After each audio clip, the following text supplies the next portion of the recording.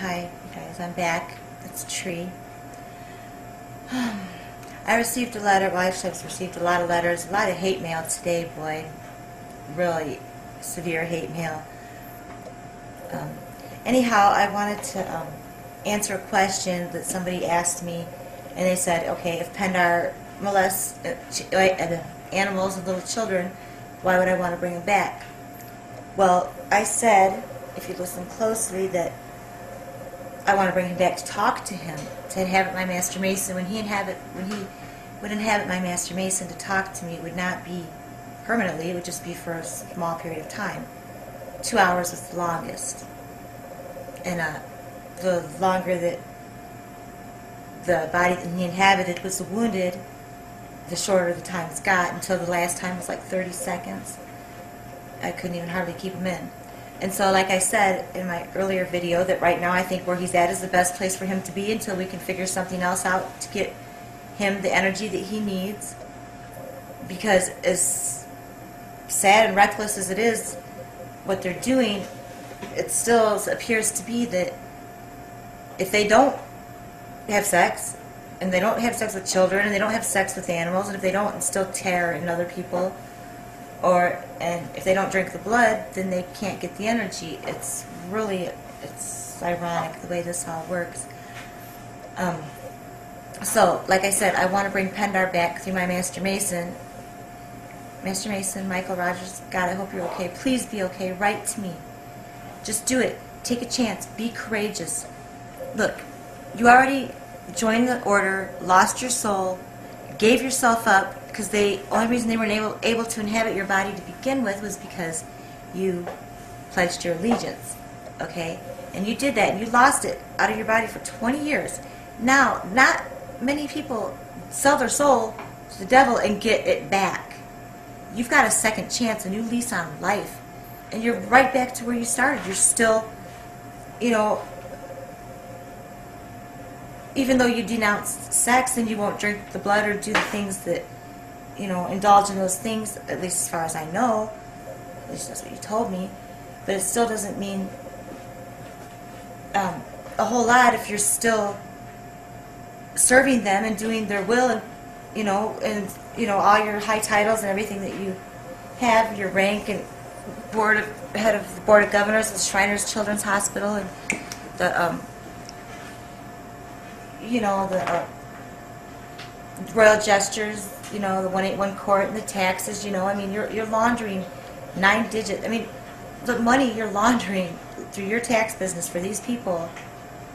And, and, you know, I mean, I know that you're forced to do it, and I know, hey, shh. I mean, I know that you don't feel like you have a choice, and I know that you know what you know, and I also know that they regularly um, use mind control on you constantly, and I know that you are being manipulated and exploited and experimented on and everything in more ways than probably most people. I mean, you are uh, very, you've been very important to Draken and to Pindar and to Elizabeth because you, your aura separates you from the rest of the other people's auras who have the dark aura that's inhabitable and compatible for the reptilian. Your aura is, excuse me, cigarettes, I know. Your aura is different because that's why so much has been done to you. Anyhow, I love you. Take a chance. You know, uh, what makes a real man a man is not the size of his penis, it's the size of his balls. Courage. Okay?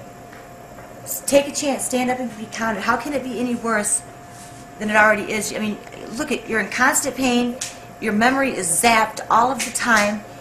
Your business, all that money going through there, and you don't even have any money or the keys to your safe and all your, you know, every, you're being manipulated and played so hard. You know, and, and I know that you don't feel like there's a way out of it, but if I can, the people of the world that are listening, you know, if we can come together and somehow let my master mason know that he's not alone, then he'll he'll feel safe, you know. But he, you know, and even though he's in a dark place, it's still safer there than it is to go out into nothingness with nobody. you know, and he doesn't feel safe with me. I, and that's sad, but it's because, well, the pain that he has inflicted, a lot of it, and that Draken inflicted was because of me. Because, um, you know, you guys choosing to protect me instead of doing what you were told, and also because I put your names out there, you know. But I have to get this story down. I've told you guys that all along. I can't not record this. I have to tell the world they're part of it too. We can't leave everybody out of this when this is their story. This is their miracle. This is they've been waiting for this for eternity, and then we're supposed you, you know you expect me just to leave everybody out and not let them in on what's going on. You know I can't do that. I won't do that. I will not hide the truth from any for anybody from anybody. I will not hide the truth. Um, and the truth is, is that you're going to have to make a decision, Michael. Me or Elizabeth. That's pretty much what it boils down to. And I will protect you. We will find a way, I swear to you. But your safety is in the spotlight, not in the dark.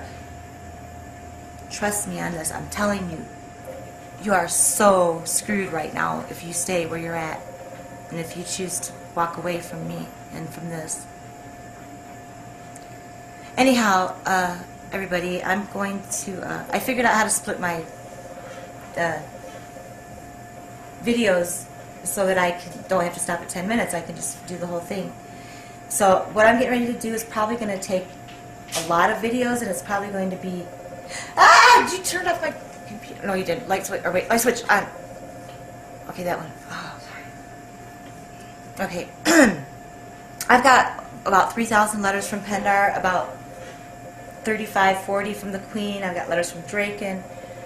Um, and so I figured the best way to, you know, let you guys know what was going on and stuff is just to read you the letters so you can see what happened. now, I've had many different email addresses and accounts and stuff, that letters back and forth from me and Pindar. My biggest one is Illuminati at Hotmail and Illuminati at Gmail and uh, Weeping Willow Tree at Yahoo, Order of Chaos at Yahoo, uh, and a few others that I've lost that have been canceled out on me. One time at my Master Mason's office, I scanned his computer and I found six different of my email addresses that were closed down on me with a bunch of files and stuff, and I found that those were in his computer with new password. They changed, got into my accounts and locked me out of them and changed the password to QWERTY, Q-W-E-R-T-Y. And I found that out, and so I recovered um, Lunar Mary and Tree Tree Tree and a few others. Anyhow, but they'd already been raped of all the information. So, anyways, uh, after the first assassination attempt was made on Pindar, who was the leader of the the Illuminati and who was the head reptilian, he was the snake in Genesis, and the only one above Queen Elizabeth at the time. Um, the first two, uh, assassination attempt she made on him was the very first time that he met with me, which was a few days before Halloween. And uh, then, right after that, this is, okay, this is November 20th, 2008, 2.35 p.m. Well, that one's from Pindar. Now this, he- he'd had me, because he got scared about the email addresses or something, because he thought that maybe Elizabeth was reading our emails, and that's how she knew where he was and about the room and stuff, and so um, he had me, had my Master Mason contact me and tell me to